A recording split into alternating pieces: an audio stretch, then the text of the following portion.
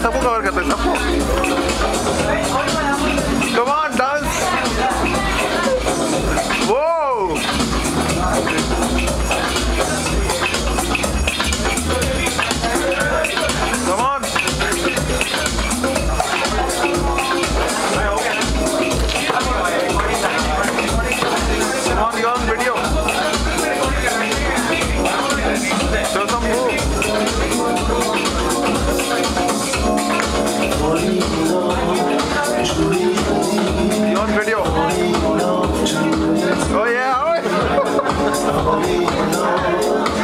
yeah, oh. Come